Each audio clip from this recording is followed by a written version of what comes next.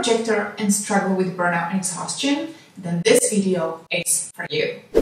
Hi, I am Barbora. I'm guiding women in business, visionaries, thought leaders, and change makers to run a business that feels playful, pleasurable, and freaking enjoyable. Business based on your unique design that doesn't follow any other rules than yours. If you are struggling with feeling exhausted as a projector, in this video, I will give you insights as well as practical tips how to prevent overworking so that you can avoid burnout as a projector. Let's dive right in. Before we get into the practical tips and tricks, let's take a look on what does it mean to be a projector and how is burnout connected to your energy type. Through the lens of human design, type also known as auric type or energy type, refers to your energetic design and how you operate well energetically. It is kind of your mechanical blueprint of your energetic body. When you understand and when you dive deeper into your energetic design, you might get clarity on why you felt resistance in the past and you can learn how to go through life with much more ease, effortlessness, and flow. There are four major types in human design. This video is specifically for projectors and does not apply to any other type. Projectors are guides, teachers, and seers, and they are often called the midwives of the universe. Projectors are also the newest of the types. As a projector, you are here to manage, to guide, and to direct the energy of others. That's your gift, that's your superpower. Due to the fact that you belong to the category of non energy types, Rather be aware of your energy and honor its ebbs and flows every day. If you're new to human design, make sure to grab my ebook, The Ultimate Human Design Newbie Guide, which is the one and the only resource you will ever need for all the human design basics summarized in one place. And there is a little bonus too. Now, let's take a look what burnout actually is. According to Mayo Clinic, job burnout is a specific type of stress. It's when you are physically, mentally, and emotionally exhausted. Also, you might experience resistance to take any action. Maybe you are lacking motivation, and also you might find yourself experiencing the loss of identity. Generally speaking, by WebMD as well as Mayo confirmed, the most common symptoms of burnout are number one, exhaustion, lacking the energy of being productive, lack of motivation, lack of satisfaction for your achievements, changing in sleep, unexplainable headaches, emotional and mental tiredness, and even resistance to do anything, even the things that used to bring you joy before. When it comes to projectors specifically, the number one main reason for burnout is overworking, which comes from the need and desire of being seen and recognized. However, Pushing yourself to the limits as a projector might not only result in you being more bitter and resentful, but also in being drained of energy.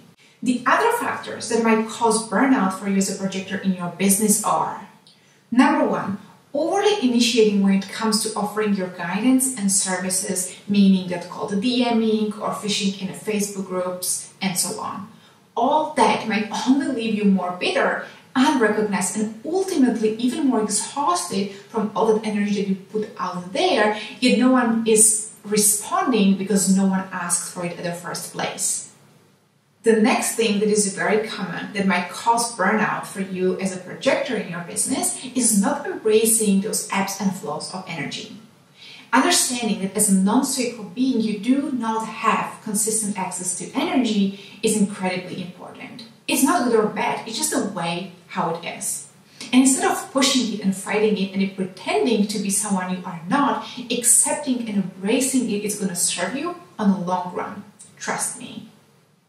Another thing I like to mention that might slowly but surely lead to burnout for you as a projector in your business is not building enough spaciousness in your days. Generally speaking, as a projector, being too pressured or too limited with deadlines might only lead to overworking and overloading yourself, which might lead to burnout eventually.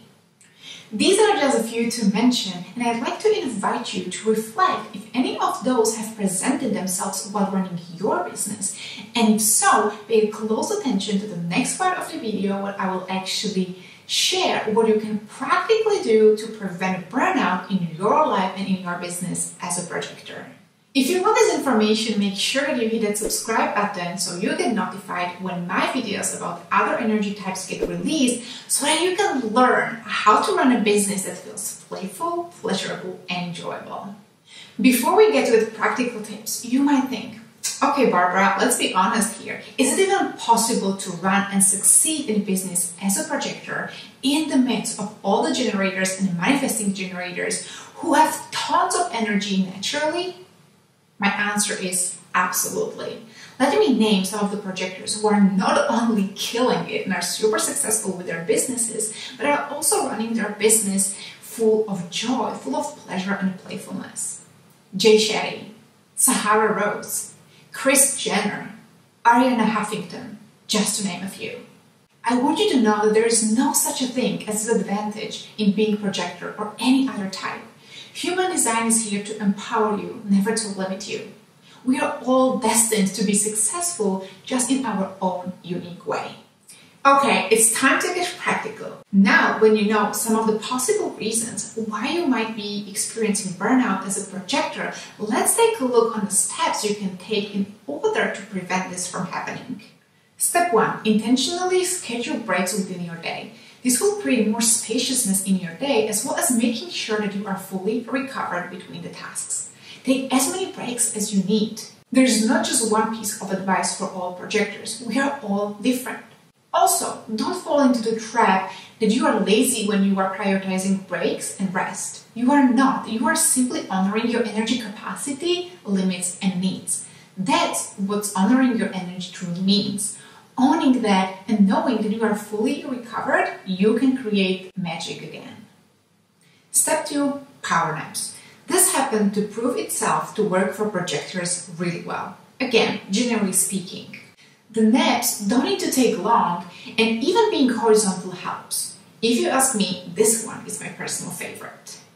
Next step, getting to bed before you are tired. Knowing that your energy is inconsistent for you as a projector, having a healthy sleeping hygiene is essential. What I advise for projectors is to get to bed before you are tired. By resting before you feel exhausted, you allow your energetic body to recalibrate and to prepare itself for restful and restorative sleep. It is recommended by many human design specialists that sleeping alone is extremely helpful for energetic management of projector.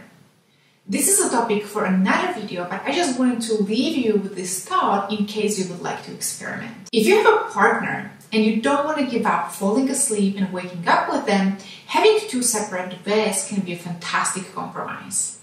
Now you've got the steps and knowledge how to prevent you from experiencing burnout as a projector in business ever again. In case you want to master your projector nature in business and leverage your genius, make sure to check out my mastermind for projectors in business called Awaken in Biz, where you learn how to run and how to grow business your unique projector way. The link is in the description. And if you like this video, give it a thumbs up and share it with other projectors that might benefit from it. I'll see you in the next video where we dive deep into other energy types. Thank you for watching.